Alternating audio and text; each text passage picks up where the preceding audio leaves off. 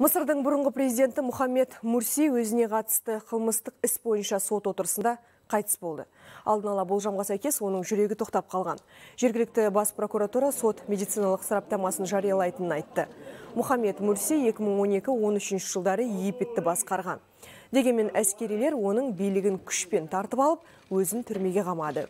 Экс-президентке мемлекетке опасыздық жасады. Жаппай тәртіпсіздіктер ұйымдастырып, демонстранттарды өлтірді деген айыптар тағылған. Өмір бойы бас бостандығынан айыру жазасына кесілген ол 6 жыл абақтыда отырды. Алайда кассациялық сот сол үкімді жоққа шығарып, істі қайта қарауға жіберген.